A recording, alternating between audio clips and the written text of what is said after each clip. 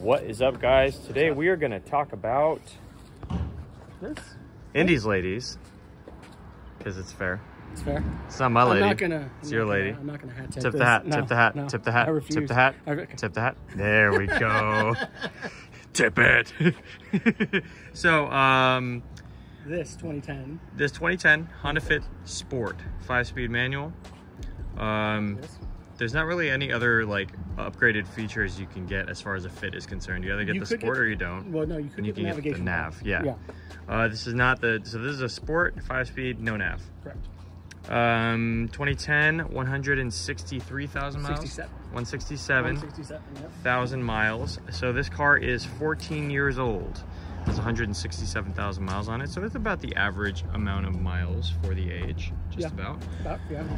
Uh, I am actually the second owner of this car. The first owner uh, was my ex-girlfriend. She bought it brand new. Uh, so I've been around this car since it was new, Yeah. um, which has been a So- long time now.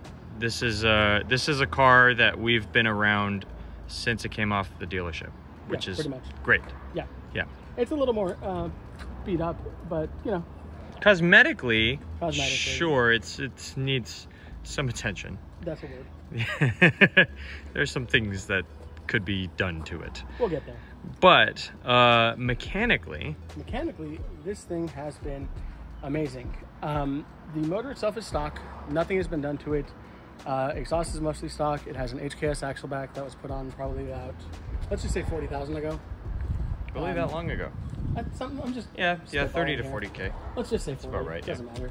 It definitely looks it because it never gets cleaned, Right. Which I would like to think I probably will. Anyways, point is though, um, the engine itself is stock. The transmission is stock. Everything on this car is basically stock. Um, won't be forever. But in the meantime, like I said, it has 167,000 miles on it, and it has been immensely reliable. And I mean Mhm. like immensely reliable. Like the G's really reliable, Yeah. and we've had to deal with more on that. Um, 350s are not very reliable, so we won't talk about that. Yeah, yeah, yeah. I think Nissan really nailed down the reliability as far as the V6s are concerned when they had the VHR motor come out. Agreed completely. Um, especially post 2013 when the gallery gasket issue was fixed. yes, definitely. Um, but as far as these, you're looking at, you know, dual cam or a single cam, single cam L15, um, 1.5 liter, 1.5 makes 100 and what, 10 horsepower? 110, 120. Yeah, it's one, not a lot of power. it's re- really a low amount of power. It's a it's an eco box. It's yeah, so Sneaker you know box. you're not pushing the limits of the motor on this car necessarily. No. Um, but up to this point, the only major things that have had to be done, uh, it did have a set of function form type 2 coils over, coilovers, which we replaced with a set of BCs after probably 120,000 miles. Yeah, so and as that's far not as- really yeah. pertaining to the car, but Mhm. it's just something to, you know, Something to bring up. yeah, if you have original suspension and you have like 200,000 miles, 160,000 miles, you're going to need to replace it. The struts are done. Yeah, for sure. That's- that's pretty for sure. That's the common wear and tear item. Uh, the motor itself has been obscenely perfect. I actually don't think the valves on this have ever been adjusted. I know they should be. They should have been done twice by now, Right. um, and they have not been done. But also, the valve train does not make any noise, so No. not too concerned with it. So realistically, the only thing that has been done with this engine is oil changes. right. Not always on time.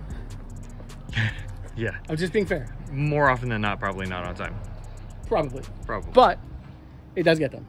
Maybe Yeah. like a thousand miles late, yeah. but it gets them. Yeah. But like the engine, that's literally it. You know, nothing has been replaced on this. I've done some spark plugs on it once. Um, the air filter's been replaced a handful of times because it's an air filter. The engine on these things is ridiculously reliable. Mm-hmm. Um, like we've talked about, if you saw our other video talking about uh, spark plugs and coil packs on like a G or a 350, you need to replace the coil packs with those things when you do the spark plugs. You don't have to do that with these. Uh, our friend has a 2013 Fit Sport with, I think probably about like 210 to 220 on it now, and he's had to replace one coil pack just last week, Right. like literally last week. Yeah. Um, and that's ridiculous because again, It's know, amazing, yeah. We'll do Nissan stuff. You if you move those coil packs, it's like oh god, I gotta Yeah. replace them. It's Yeah. done. Yeah. They don't make a proper connection anymore. Random misfire. Yeah, that's it. It's done. Yeah. You just if you if you move them at all, if you even like loosen the bolt, you're like, ah, Yeah. it's done. Exactly. It's done. Now, as far as the transmission is concerned, uh, there's really only two items that are worth talking about, right? Uh, yeah, this thing did have uh, premature clutch failure at probably about 150,000 miles. If I had to stab in the dark, I don't remember exactly. The clutch was replaced with a OEM clutch. Uh, the spring on the sprung clutch actually broke out of its little holder Hmm. and just destroyed the clutch. It was done. Okay. That's, I mean, I'll put it this way. Again, our friend with his 210, 220,000 mile car, does he need a clutch? Yes. Does his clutch still work? And is it the original one? Yeah, It's that's great. pretty impressive that Like, you can have a clutch last until 150,000 miles for sure. Well, dude, and, and him at 210, 220. Yeah, like absolutely. You never hear of a clutch lasting that long. Yeah. And You then the slave cylinder was just replaced as well, right? The clutch master, the clutch master, master cylinder, yeah. Well, so funny enough, um, this started having some clutch issues again after the clutch replacement. Uh, typically, with a clutch master cylinder, if it's going bad, you can typically look like under the dash and see that it's physically leaking into the car. But this was not doing that, uh, so we kind of just hoped it was a clutch slave, not a clutch master cylinder. Yep. Uh, we replaced the clutch slave. It was definitely the clutch master cylinder. Just kind of is what it is, you know. Yep. So, So the master cylinder is uh, was just replaced. yes, the master cylinder was just replaced on this. Um, it is an expensive thing to replace if you don't have the time, like I did. Um, just so you know, the master cylinder is basically tucked here. Yeah. So a lot of labor. well, you have to. That, back that there. is one only complaint on working on these things is to do about anything. You have to pull this cowl, Yeah. these wipers, the, The hood, motor, the hood, The the cowl, the wipers, they all the got to come off. Yeah. The lower cowl that's made Yeah. of metal. That's and that's if you want to do plugs. That's if you want to do um, Valve the valve adjustment, the um, suspension. Yeah, the suspension is a part of that. Yeah. Obviously, the clutch master cylinder, anything brake master cylinder. Basically, anything that's not an oil change or an air filter change is go- or, like a radiator, coolant, yeah. yeah, is is going to require you to pull that shit off, which is a little annoying. But I mean, it to fair, what it is. the RS was the same. Yeah, the Yaris was pretty much identical when Yeah. I did the TRD suspension on the 2010. 2010. Okay. Yeah, 2010 Yaris, Yaris. So it was the same year as this. The front suspension was a pain in the ass. Same thing. Yeah. Yep. Had to pull the whole front end apart to get The whole thing. And the hood is like the same size. It's like a little wing. Yeah, it's, kind of, it's actually a really Yeah. cool looking hood, right? Yeah. It looks like a like a little back glider. Yeah. Right. Yeah. That's one of the things I really like about this. Yeah, totally. Actually, John's not gonna like this. I like the 2010 front better than the 2013. I'd have to take a look I'll at it. I'll show you the differences, but the fog light sections here, these are more like swooped. Yeah. The 2013 2012, 2013 is like a flat. Good to know. I'll show you pictures. When we look for ours, we'll, we'll keep that in mind. I, I'm gonna get Hint, hint, hint, hint, hint, hint, hint, hint, hint, hint, hint, hint, hint, hint, hint, hint, when I get my other one. Maybe. When I get my other one, because Yeah. this is mine, but I'm gonna have another one. I Yeah. So uh, that takes care of engine. That takes care of transmission. We've talked about suspension. Brake maintenance is normal. No real issues. There was some hair that got caught in the e-brake, but we cleared that. that was some hair like on me. Yeah. Uh, front brakes are disc brakes. They're super reliable. They're great. The rear brakes are drum brakes. Drum brakes make me sad, but a tonneau box Yeah. is what it is. But I believe that conversions are not terrible on I don't actually know anymore. I need to look up, uh, look into it because I would do a, a rear disc conversion. I, bet you could do a Mini Cooper like rear conversion or something, like that. Because yeah. they do that on You know, what, Integras. you know what I found out recently? Uh, this is vaguely off topic. I was in the Fit subreddit, I think. Yeah. We're on one of the groups, and uh, the JDM models have a thinner, separable rear axle. So they made these shims that you could put in. You, you slide them over the axle, and they actually camber your wheels out. No way! But they don't fit the US ones. Mother effers. But we could probably figure something out to make it like happen. You know what I mean? But yeah, they, they made little shims that actually go behind things, so it actually tilts the whole spindle. up. Those damn jabronis. And like, I think they sold them in like sets of like one, two, and three degrees of negative camber. I want.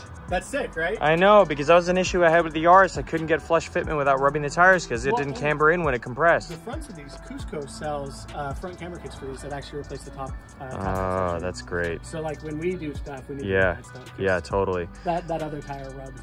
Yeah. now, uh, engine, suspension, brakes, transmission, all covered. Let's. Um, this isn't really part of the reliability, but um, you know, Honda paint. Honda paint sucks. Let's just that's is You what it is. The interior's in great shape. yeah. Uh, that's not really a reliability thing, but No. we really just wanted to kind of uh, give you guys um, A a, look f- at a quick rundown of Yeah. like what the fit's like. Um, 167,000 miles. 167,000 miles, 14 14, years. years old. Yep. Um, and we've we've seen this car age as it as it went. Yep. Um, it's great. It's a great car. It is. So um, we're both thinking about doing fits too. Let us know if we should. And even if you think we shouldn't, probably too bad. like, you know, Yep. Yep. Yep. Yep. because like it's a, it's the perfect daily. I love fits. Like honestly, and like the, I'm kind of like questioning: Do I look at a GT3? Maybe, maybe not. I really love the GE8. I don't really Yeah. like the GKs. I like the GKs, I but I got to see what you don't like I about think, them. We got to talk I think it's it. because the interior's a little bit. Yeah, Well, I we'll I, I like the way the GKs look, like just bone They stock. do. I They really do like offer them. some good parts for Yeah. the GK that they don't offer for the GD and the Okay. GE8. GE8 but um, I really like this generation For sure. So, Anyways, let us know what you guys thought of the video. If you guys have any requests for fit related content, let us know as well. because we're gonna probably have some. We're gonna try. Yeah, we're gonna try to do some more fit content of just this car, if not maybe others. And uh, yeah, if you like the video, please make sure to like, subscribe, and notification bell, and we'll see you in the next one. And we appreciate you. And advance. Definitely.